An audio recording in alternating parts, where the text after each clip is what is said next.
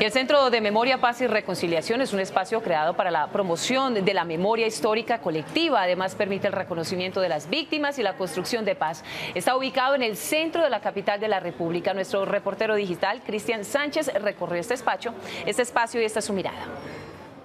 Hola, soy Cristian Sánchez, reportero digital en Canal Capital. Me encuentro en el Centro de Memoria, Paz y Reconciliación, un espacio donde vamos a recordar y a revivir momentos históricos en el país en cuanto al conflicto y a la violencia.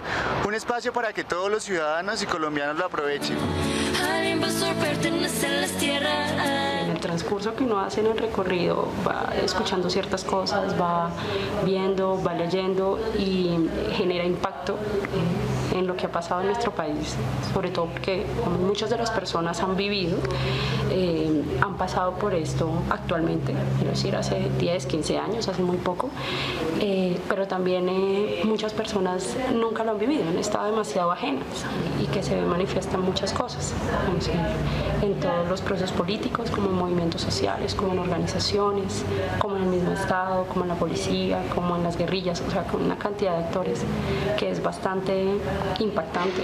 El punto realmente es que el Centro de Memoria Histórica es un centro vivo porque la violencia no ha terminado, digamos, nosotros aún nos encontramos en un conflicto, entonces creo que es un primer paso para reconocer todo lo que se ha generado, digamos, para reconocer eh, las fallas que se han tenido, digamos, eh, los errores por parte del mismo Estado.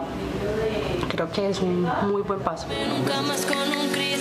Me parece que es muy importante que lo visitemos porque pronto es una parte de nuestra historia que más que todo, digamos, nuestra generación de 10 años para acá, a veces somos ajenos a ella.